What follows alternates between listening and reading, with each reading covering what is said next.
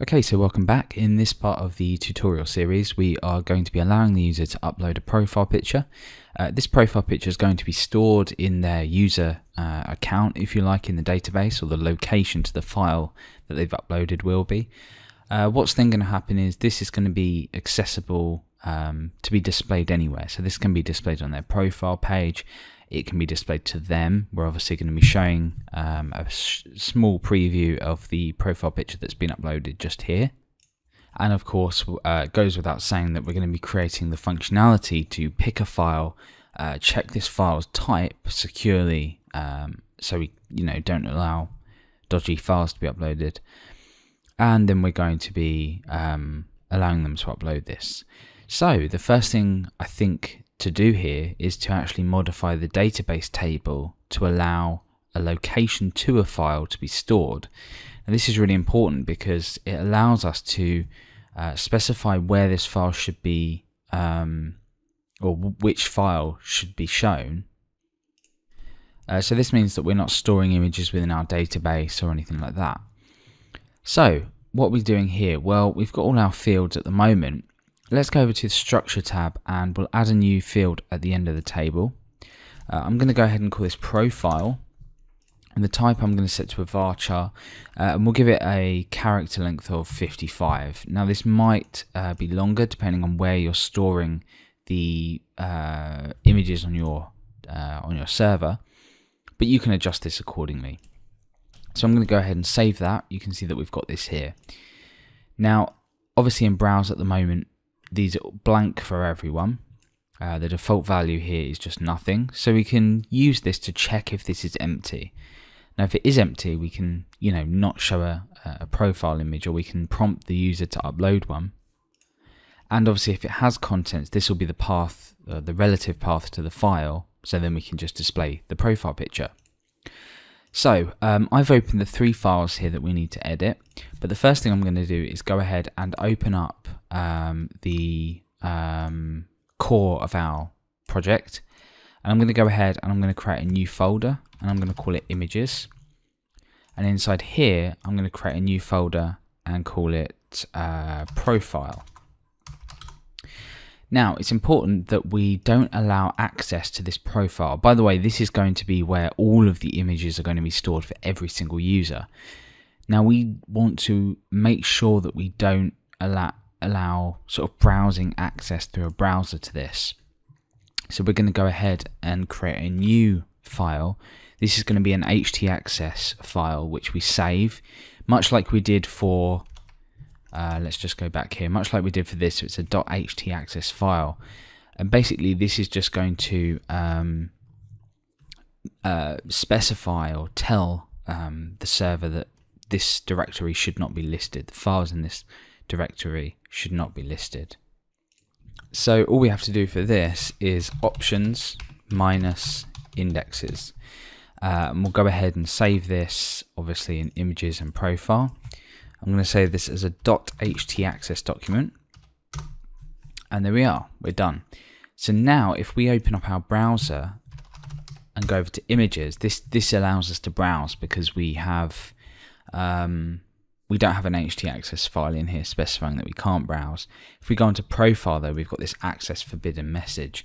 And the only way that a user or a, a, a browser of the site will be able to um, check for images in here is or, or, display images or access images is whether they type you know if they type in the um, the image location or the file name.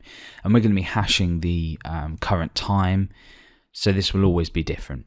Um, so you know a user can't necessarily guess this. They might be able to but you know you can be inventive and, and think of ways that people might not be able to guess this Anyway, let's go on with the actually developing the functionality. We've got our database set up ready to go here. All we need to do is develop the upload functionality and the ability to display this out. So in init.php, we already know that we've got this user data variable that holds the field that we want to retrieve from this specific user if they're logged in. Now we've got a new field that we need to access called profile. So let's go ahead and add that to the array that we passed through uh, or the field, sorry, that we pass through uh, to this function. So now we have access to this profile um, data. So over in loggedin.php, which is within the widgets folder, so essentially this is what displays here. Uh, we're going to go ahead and we're going to um, create a little area here. So I'm going to create a new div. And I'm going to give it the class of profile. We might actually need to go into the style sheet as well and add some styles um, just to make this look a bit neater.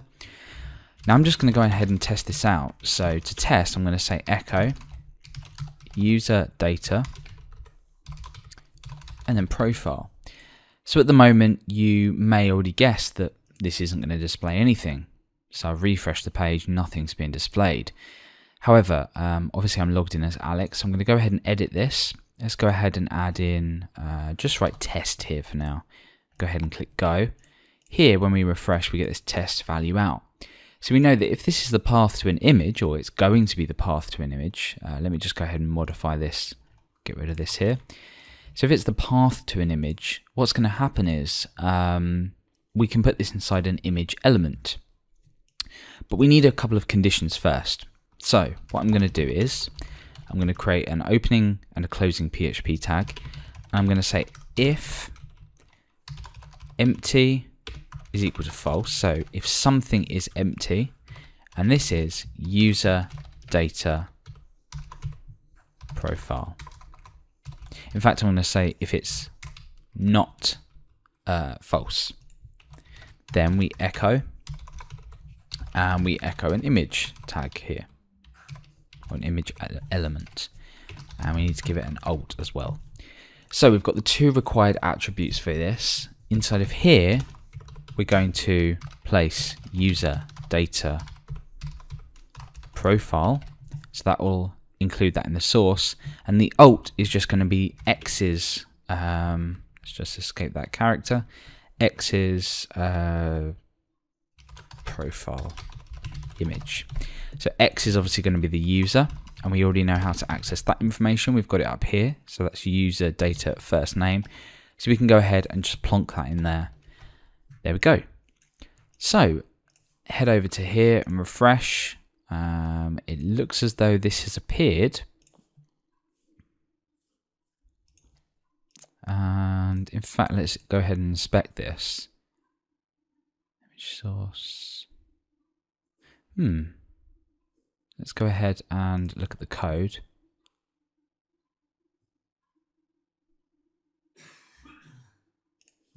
Oh, sorry, no, it'll be, um, let's just get rid of that. It will be uh, is equal to false. Sorry, I'm confusing my logic completely. So if it, um, if the profile is not empty, then we display it. If it is empty, we don't display anything. Okay, so we've done that. Once we've uploaded a profile picture, this will display. What we want to do down here is go ahead and, and give the user the option to browse. So I'm doing this here just because it's easier for the user to access, but you know, you can go ahead and do this in settings as well in the setting page if you if you wish. So the input type here is going to be a file. We need to give this a name as well. And I'm just going to call this profile. And then I'm also going to include an input field. And um, this is just going to be a submit button. Now, obviously we need to wrap this in a form.